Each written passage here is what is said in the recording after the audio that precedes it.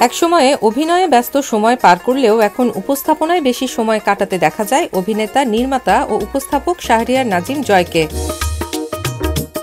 তারকাদের নিয়ে বিভিন্ন সময়েই নানা অনুষ্ঠানের আয়োজন করেন তিনি। এমনকি অভিনেতা অভিনেত্রীদের ব্যক্তিগত জীবন সম্পর্কেও মন্তব্য করতে দেখা গেছে এই অভিনেতাকে। এসব নিয়ে বরাবরই আলোচনা সমালোচনার সৃষ্টি করেন তিনি। সম্প্রতি একটি টেলিভিশন সাক্ষাৎকারে হাজির হয়ে মুখ খুলেছেন ঢালিউড কুইন অপু বিশ্বাস, যেখানে জয়কে সতর্ক করে বেশ কিছু বার্তা দিয়েছেন তিনি।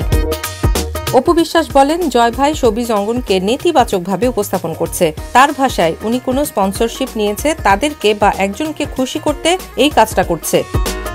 তিনি আরও বলেন সবকিছুরই একটি নিয়ম আছে। উনি জোর জবরদস্তি করেন। মাঝে মাঝে কিছু বিষয় থাকে যা বলা যায় না, কিন্তু তিনি সেখানেও জোর করেন।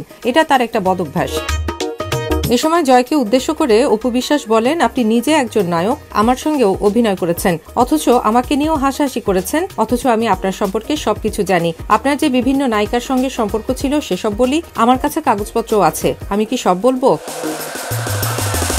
সবশেষ জয়ের উদ্দেশ্যে অপুর বার্তা, অনুষ্ঠান করেন আপনার মেধা, বুদ্ধি দিয়ে। কাউকে খুশি করতে গিয়ে তারকাদের ছোট করবেন না। এটা আপনার দরকার নেই।